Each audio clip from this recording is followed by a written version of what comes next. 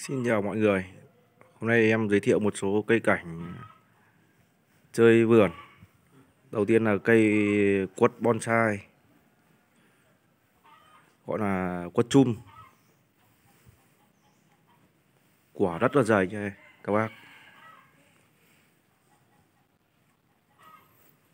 Tiếp theo là cây Nguyệt quế, hoa màu trắng rất là thơm. Cái này nó còn có quả đỏ đỏ này.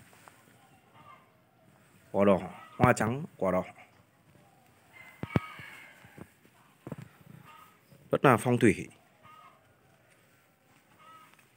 Theo là cây mộc. Hay gọi là mộc hương này. Theo là cây sen đất. Cây sung. Em giới thiệu qua một số cây chơi Tết trong nhà của các bạn nhé.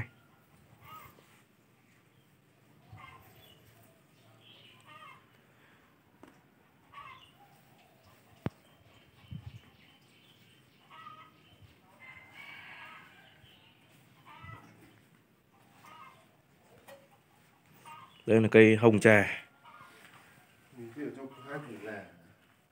Hoa rất là đẹp. Các bác thấy hoa nó cánh nó dày đặc này. Rất chi tiết và rất đẹp nha ở đây là cây ờ, cần thăng.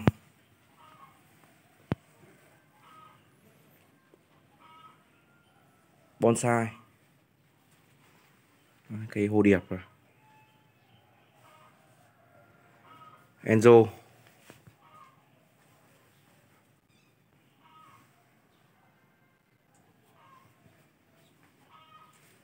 Và cây kiếm không ăn kiếm. Hoa giấy.